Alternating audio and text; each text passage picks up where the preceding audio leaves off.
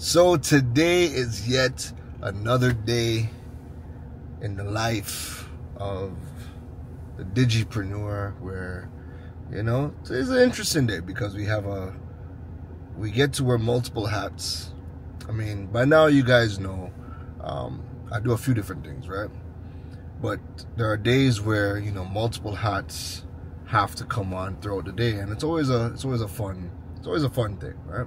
So this morning i actually have a meeting with government so let me see if I can zoom in. Uh, let's see, let's see, let's see. Can we get a nice zoom? How is that gonna work? I'll get it when I'm outside, right? That's all right. I'll get it. I'll get it when I'm outside. But today I'm gonna be meeting with the with one of our government arms, which is the Ministry of Public Administration, and we have some things that we got to talk about, right? And after that, after that meeting, uh, I'm going to be teaching. So I'll be actually heading out to UWI Lok Jack, where UWI has partnered with the University of Hull. And there's going to be about 50 female entrepreneurs that are doing a, a, wide variety of courses and stuff with UWI Lok Jack and Hull University. And I will be coming in there to talk about digital marketing, their digital assets, strategies to market and build their brands online today. So I'm going to do my best to take you along with me. There are going to be things I can show, there are going to be things I can't, but I'm going to do my best to capture as much as I possibly can. And most definitely, I will do my best to especially capture the UWI Lok Jack session, all right? But we're going to head to our first meeting of the day, so come right along.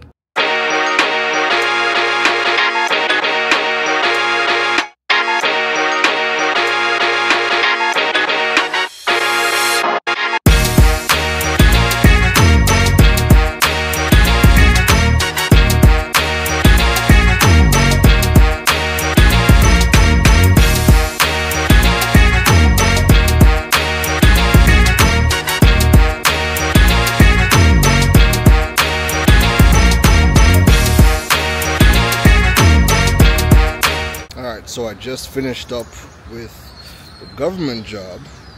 Well, not job, but finished up with a meeting with uh, that agency. And now we're moving on to UWI Lok Jack. So we're going to be doing a training session, like I said, with about 40 to 50 women entrepreneurs and this should be really really fun so we're gonna capture as much as we can all right but yeah let's get to it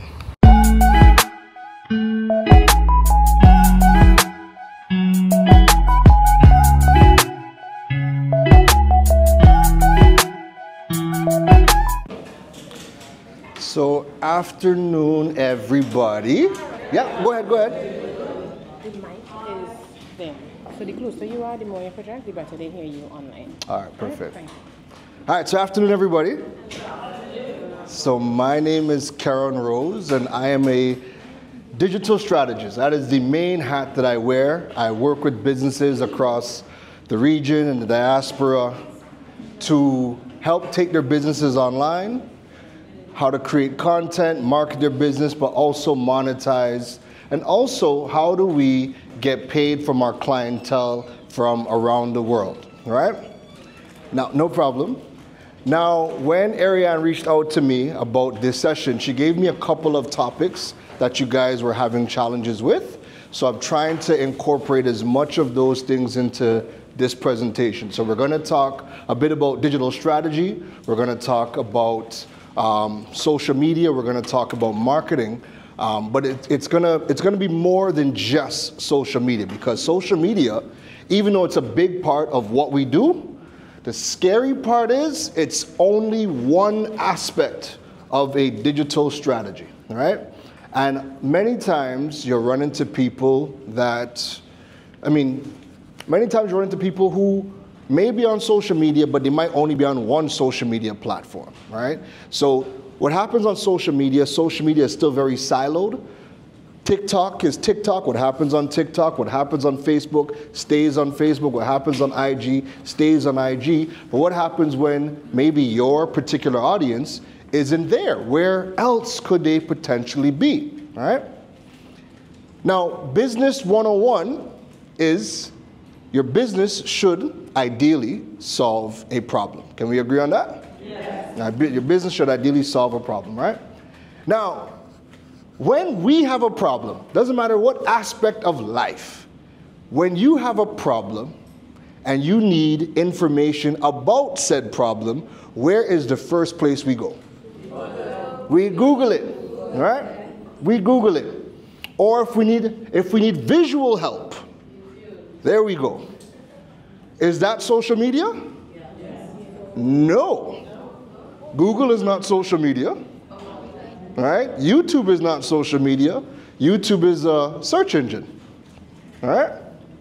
So I, I highlight that because if that's the number one place that we go for information, right? If your business doesn't show up in a Google search, if your business is not Googleable, I know I made up that word, but you know, if you're If you're not like if you like let me say you go to Google to search and it's not like a web you don't have a website for your business. Oh, you took the next line out of my mouth. If I had flowers, I would have gave you a flower. so, and what's your name? Dominique. Dominique. What Dominique said is extremely right.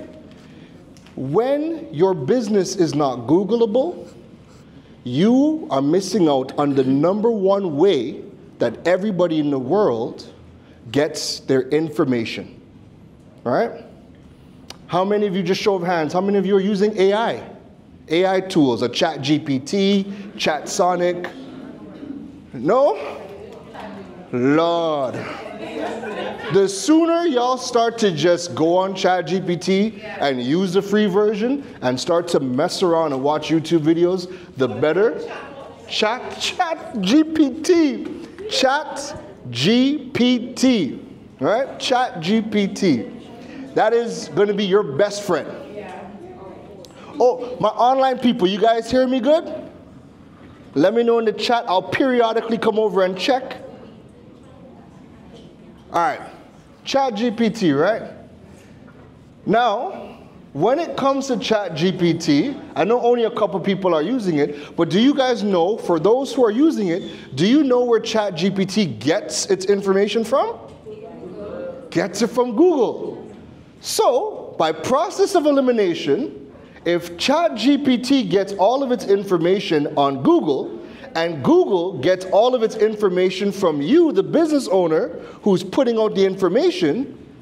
If you do not have a website or any of the other digital assets we're going to talk about, then you are disqualifying yourself from the number two way people are getting their information in this world right now. Hmm. And as a business, the ideal thing, the ideal position you want your business to be in is you want to be the resource, the go to place that people in your industry are coming to for all sorts uh, and source of information. So I'm going to be showing you how to transform your business into that go to place that people are going to go for that information, right? The answer is 63% of all sales, according to Google, start with a Google search. Now, let me just walk you through that process and think about yourselves, right? I gave the example, my back hurts. So you wake up, you jump on Google, 37 year old male, back hurts. Google says, Congratulations, you've just won stage four cancer. I joke, right? But you know how WebMD, everything is cancer for them, right? But you Google whatever your problem is, and then you go down the rabbit hole. You describe your symptoms or you describe what you're trying to achieve. You're in your car. You're in your car, you hear a noise, you start to Google what the noises in your car is, or maybe you see a new icon pop up in your dashboard and you're Googling, oh God, what is this? What is this light popping up on my dashboard, right? And then when you Google that, the results page comes up, and you start to get information about your possible situation, and then you just continue to go down the rabbit hole until you get to either a product that's going to solve your problem, or you get to a person that is going to solve your problem, and then you pick up the phone, you give them a call. In the case of Trinidad, you probably won't get through on the first time, or the second. You might never get through. I don't know. It's, you know. but let's just say they answer the phone. You're like, great. I have said problem. This is what's going on. The person says, great. We solved this. Come on down. And that person has just gained your business. Right? So, three reasons why everybody needs to build their digital presence. I know it sounds self explanatory. I know we, we, we, we would like to run away from this. It was less complicated when we did not have computers and phones and all this good stuff. But boy, oh boy, right? If you are on the fence about being strategic with building your digital presence, let's change that. So, the reason number one is customer expectations and behavior. Think about your own habits when you want to purchase something that is a need for you, maybe it's a need personally or a need for your business, when that thing that you need to buy costs a good piece of change and you need to make sure you're getting the right thing, what do we do? We Google, we we research, right? And in that research, what are some of the things we do in that research? We shop around. We shop around. Check reviews. Check reviews, that's the big one. Check reviews. What else? Feedback. Feedback? Yeah? Okay. That, we do all of those things. So we watch YouTube videos to see does this make sense? We watch comparisons because maybe in our research we're seeing multiple products that solve our problems. So we watch comparison videos.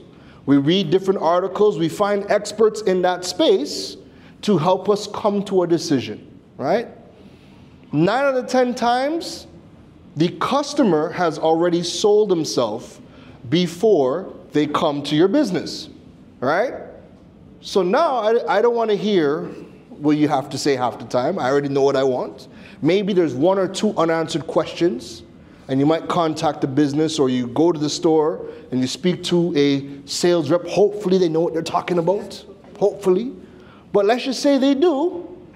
They might have one or two pieces of missing information, but you have already sold yourself. You already know the prices and you have the money, and now it's just to go ahead, okay, great, you've answered my question, I will take that, here is my card. Or the modern customer now, not gonna call you, never gonna contact your business. All the information is online. They've watched weeks worth of content. The only thing left for them to do now is add to cart, add to cart, from wherever the business is in the world, check out, and wait for the delivery of said product. AKA Amazon, Walmart, Shein, it don't matter. Any any business, right?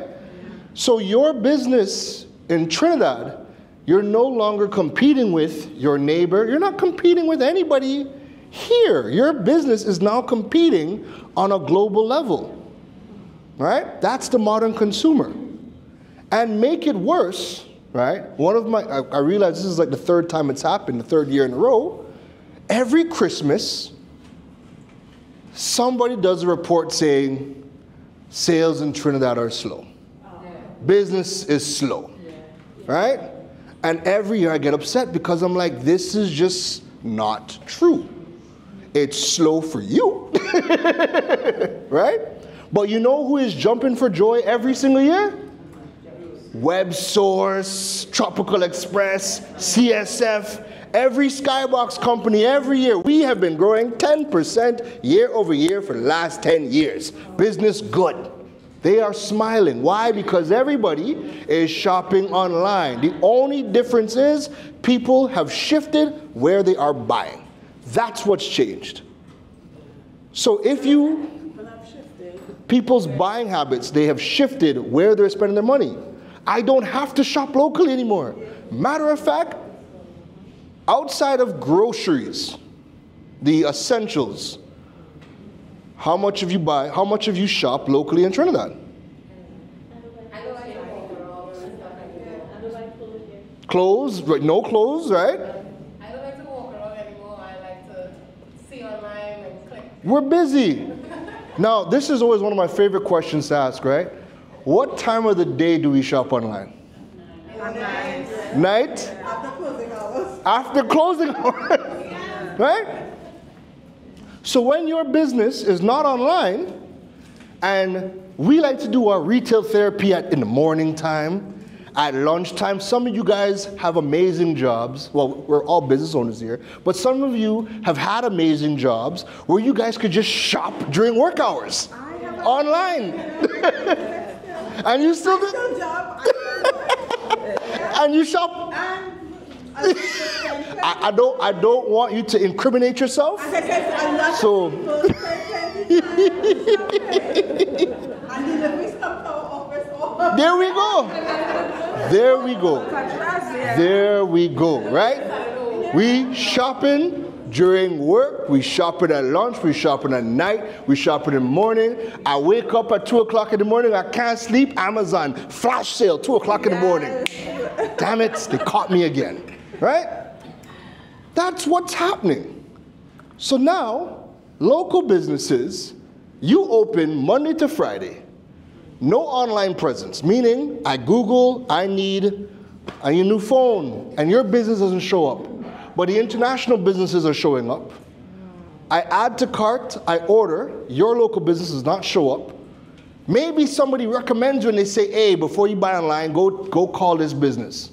I call, I DM, you DM two weeks later, after I've done receive the product, after I've already received the product, I call, I call, I call, no answer.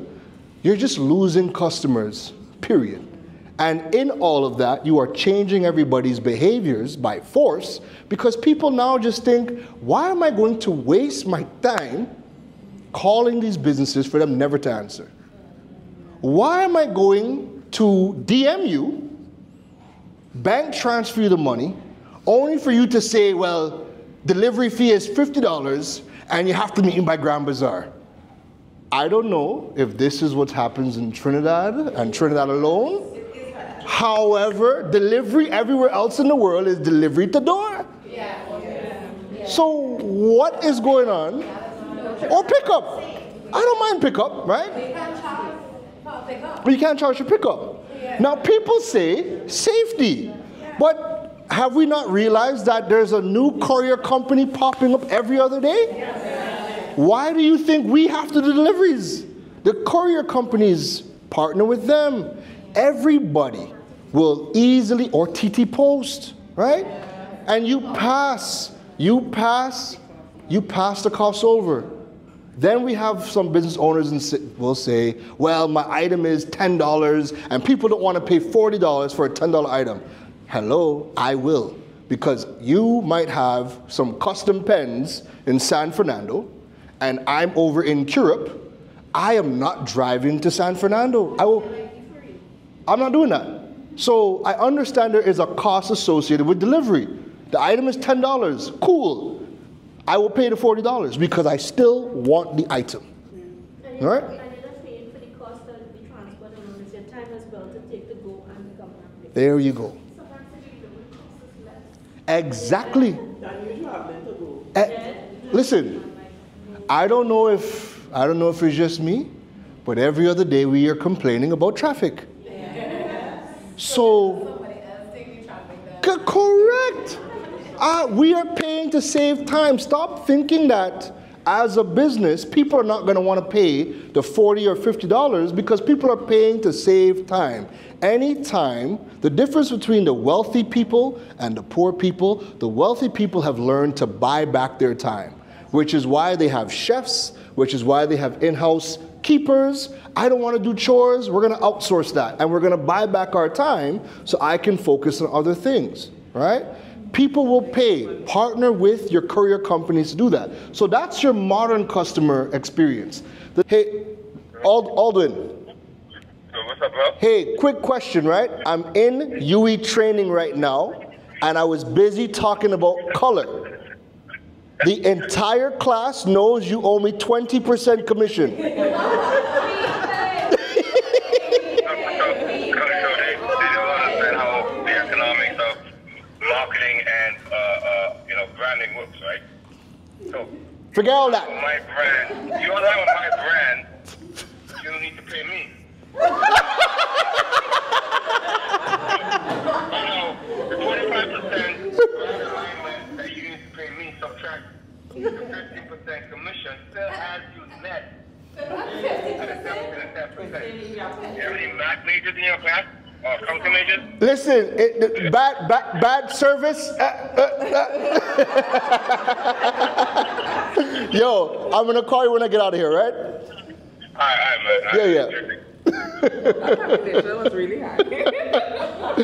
That's why he's a millionaire, right? And so I'll give you guys this, right? If you guys are into podcasts and you want some good podcasts to listen to, or even if you're not into podcasts but you listen to YouTube, one, I think everybody should listen to Gary Vaynerchuk. Gary Vaynerchuk, as long as you can get past his demeanor, right? And his colorful language at times, he he his head is where you need to be thinking, right? Just type in Gary V. Type in Gary and then V E E. Google that and everything will come up. And also, I'd recommend checking out a guy by the name of Neil Patel. Neil, N E I L, Neil Patel. Neil Patel is, I think, the greatest marketer on the planet. While everybody's talking about emotion, emotion, emotion, cool, you still have to understand how all of this stuff works to get your emotional content out.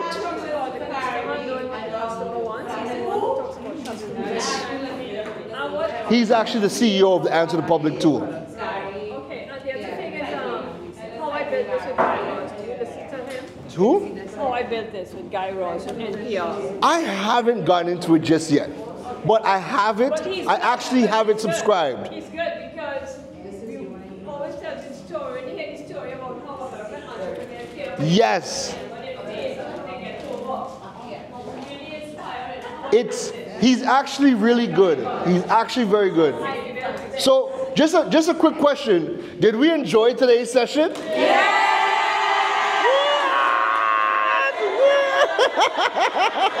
I couldn't